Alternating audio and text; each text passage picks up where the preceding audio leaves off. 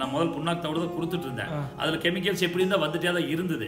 அப்புறம் இதுக்கும் நெக்ஸ்ட் இது என்ன பண்ணலாம் நான் சர்ச் பண்ணையில தான் இந்த மாதிரி ஒரு ப்ராடக்ட்டை நம்ம புதுசா ஆரம்பிச்சிருக்க லான்ச் பண்ணி வைக்கிறேங்க. ஆர்கானிக்கா லான்ச் பண்ணி வைக்கிறப்போ அவங்கள போய் மீட் பண்ணி இப்போ அந்த ப்ராடக்ட் தான் வாங்கி நான் கொடுத்துருக்கேன் ஏன்னா ஆள்காரன் தெரியாதுல்ல இது பத்து லிட்டர் கறக்கிற மாடு இது அஞ்சு லிட்டர் கறக்கிற மாடு அவங்களுக்கு தெரியாது.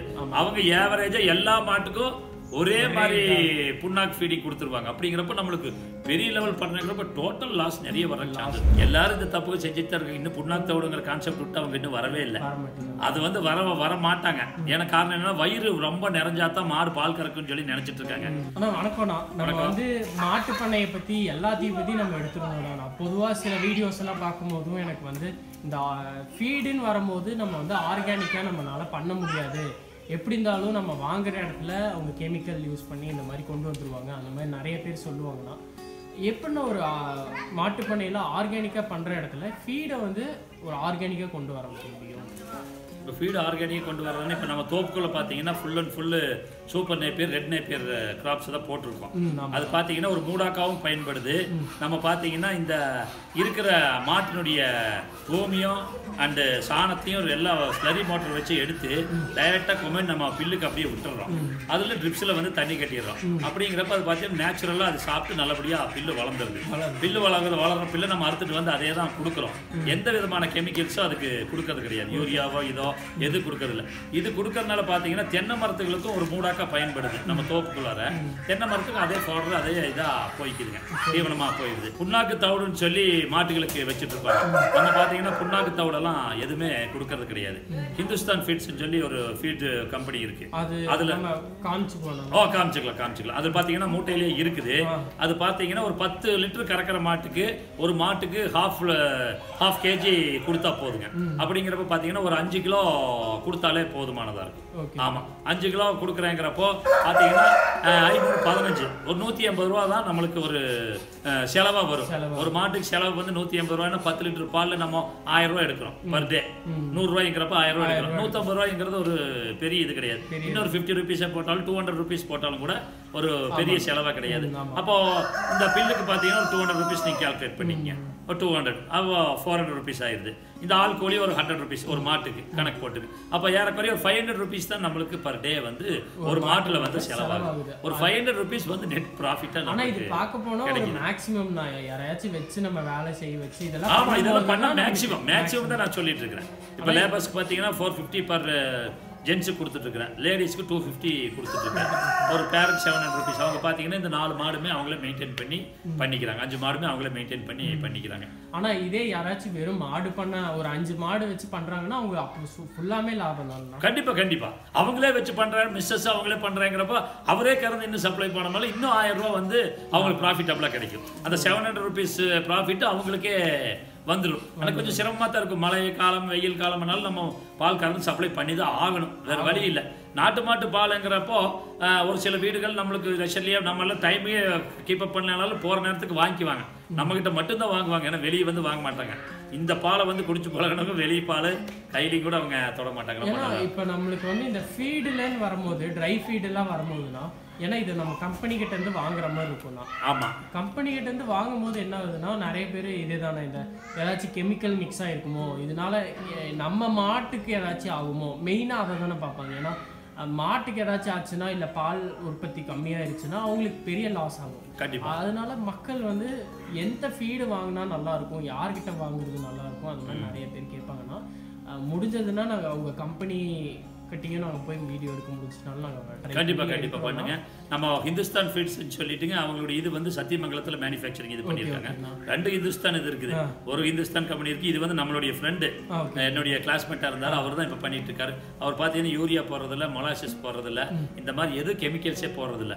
ஈல்டு பார்த்தீங்கன்னா ரொம்ப நாளாக நான் முதல் புண்ணாக்கு தவிடு தான் கொடுத்துட்டு இருந்தேன். அதுல கெமிக்கல்ஸ் எப்படி இருந்தா வந்துட்டே தான் இருந்தது.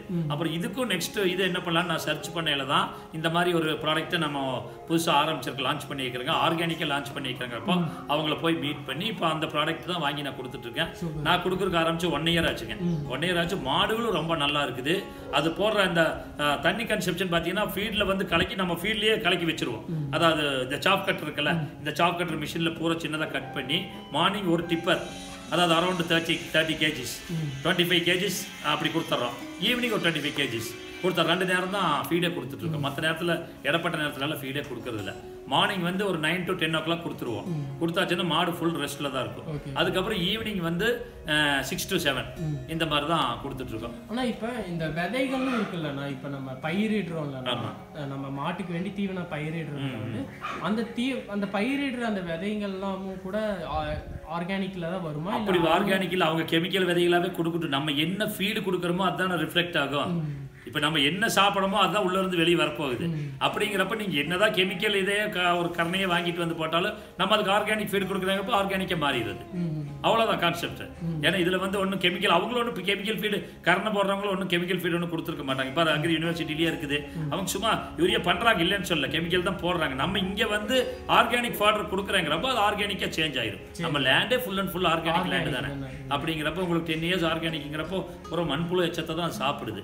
அப்ப நம்ம யூரின் அண்ட் கவுடங்களை கொடுக்குறோம். அப்படிங்கிற ஃபுல் அண்ட் ஃபுல் ஆர்கானிக் பொதுவா நம்ம இந்த நம்ம வயல்ல போடணும்னா என்னென்ன விதைகள்லாம் தான் நம்ம இது பயிரிடணும் நான் போட்டிருக்கேன் நான் சூப்பர் நேப்பியர் போட்டிருக்கேன் ரெட் நேப்பியர் போட்டிருக்கேன். ரெண்டுமே ரொம்ப நல்லா இருக்குங்க. அது ரெண்டு போட்டாலே ரெண்டு போட்டாலே போதும்.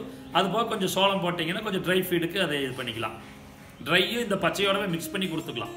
நம்ம டெய்லியுமே இது இது ஒரு ஒரு டுவெண்ட்டி கேஜிஸ் கொடுக்குறோன்னா அது ஒரு ஃபைவ் டு டென் கேஜிஸ் அதில் உள்ளாடியே நம்ம சாப் கட்டரில் போட்டு வெட்டி கொடுத்துடலாம். அப்படிங்கிறப்ப உங்களுக்கு அது ட்ரை ஃபீடும் இதாகிக்கும். ஒன்றும் ப்ராப்ளம் இருக்காது. ஓகேண்ணா ஏன்னா இப்போ நிறைய பேர்த்துக்கு என்னன்னா என்ன ஃபீடு நாங்கள் கொடுக்குறது? ஏன்னா எல்லாமே ஒரு ஒரு இதையும் பார்ப்பாங்கண்ணா. ஒரு ஒரு வீடியோவை பார்த்துட்டு இவங்க இதில் இது சொல்லியிருக்காங்க இதில் இதை சொல்லியிருக்கிறாங்கன்னு சொல்லி ஒன்னொன்னையும் மாற்றி மாற்றி போட்டு போட்டு அவங்க இடத்தையும் இது பண்ணுற மாதிரி இருக்கும். இன்னொன்று என்னன்னு கேட்டிங்கன்னா இதில் முக்கியமாக நம்ம பார்க்க வேண்டியது என்னன்னு சொன்னால் இந்த புண்ணாக்கு தவிடு வைக்கிறாங்க இல்லைங்களா? பெரிய பெரிய பண்ணைகள்ல. அப்போ பார்த்தீங்கன்னா பத்து லிட்டர் கறக்கிற மாட்டுக்கும் ஒரே ஃபீடிங் தான் கொடுப்பாங்க. அஞ்சு லிட்டர் கறக்கிற மாட்டுக்கு ஒரே ஃபீடிங் தான் கொடுப்பாங்க. ரெண்டு லிட்டர் கறக்கிற மாட்டுக்கு ஒரே ஃபீடிங் தான் கொடுப்பாங்க. அப்படி அப்போ ஃபீட் லாஸ் வந்துடும் ஆமா இது வந்து பாத்தீங்கன்னா இப்ப நம்ம அப்படி கிடையாது. இப்ப பாத்தீங்கன்னா நம்மளுடைய மாட்டுக்கு அஞ்சு லிட்டர் கறக்கிற பத்து லிட்டர் கறக்கிற மாட்டுக்கு அஞ்சு கிலோ கொடுக்குறோம். நாலு லிட்டர் கறக்கிற மாட்டுக்கு உங்களுக்கு ரெண்டு கிலோ ஃபீடு தான் கொடுக்குறோம். அப்படி ஃபீடு கன்சம்ஷன் நம்மளுக்கு ரொம்ப கம்மியா இருக்கும். அப்படிங்கிறப்ப அதுலயே நம்மளுக்கு ஒரு ப்ராஃபிட் நல்ல ப்ராஃபிட்டா கிடைக்கும்.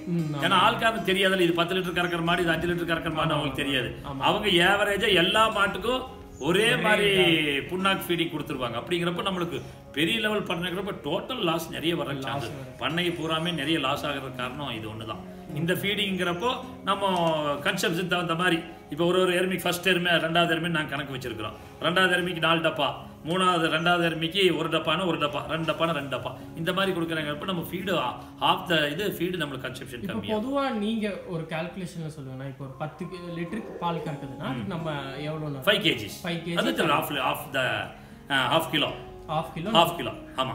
ஒரு லிட்டர் கறக்குதுன்னா ஹாஃப் கிலோ ஆமா அதான் கணக்கு. அவ்வளோ கணக்குல நம்ம தந்தோம் நாம தந்தா போதும். அதே வந்து ஈல்டு நல்லா வந்து. ஓகே ஏன்னா நிறைய பேர் இன்னொன்னு என்ன பண்ணுவாங்கன்னா அது சாப்பிட்டு முடிச்சதுனால திரும்பி திரும்பி போட்டு அது வந்து தேவையில்லாத கறக்கிறதான கறக்க. இப்ப நம்மளால சாப்பிட முடியாதோ சாப்பிட முடியும். பாக்கி எல்லாம் போற வேஸ்ட்டா சாணத்துல வந்துடும் அது வந்து அவசியமே இல்லை. இப்போ நான் பார்த்தீங்கன்னா கொடுத்துட்டு அதே மாதிரி ரெண்டே டைம் தான் ஃபீடிங் மார்னிங் ஒரு டுவெண்ட்டி ஃபைவ் கேஜிஸ் ஈவினிங் ஒரு டுவெண்ட்டி ஃபைவ் கேஜிஸ் அதுதான் என்னுடைய ஃபீடு மற்ற நேரமெல்லாம் பார்த்தீங்கன்னா சும்மா தான் நின்று நீங்க வேணாலும் மாடை பார்க்கலாம்.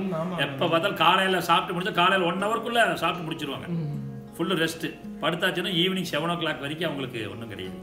வெறும் தண்ணி வேணுங்கிறப்ப குடிச்சுக்கும். அவ்வளோதான் ரொம்ப நீட்டா சொல்லியிருந்தீங்கன்னா அஹ், கடைசியா இந்த ஃபீல்ட்ல நீங்க ஸ்டார்ட்ல ஏதாச்சும் தப்பு பண்ணியிருப்பீங்கன்னா ஏன்னா யாரா இருந்தாலும் ஒரு நம்ம ஒரு உச்சத்தை தொடணும்னா நம்ம சில தப்பு நம்மளும் செஞ்சுட்டு தானே வந்திருக்கோம். அதுல யாராச்சும் இந்த தப்பு இன்னியும் நிறைய பேர் செஞ்சுட்டு தான் இருக்கிறாங்க அப்படின்னா அப்படியே கொஞ்சம் கடைசியா சொல்லிட்டு. எல்லாரும் இந்த தப்புக்கு செஞ்சுட்டு தான் இருக்காங்க இன்னும் புண்ணாக்கு கான்செப்ட் விட்டு அவங்க இன்னும் வரவே இல்லை.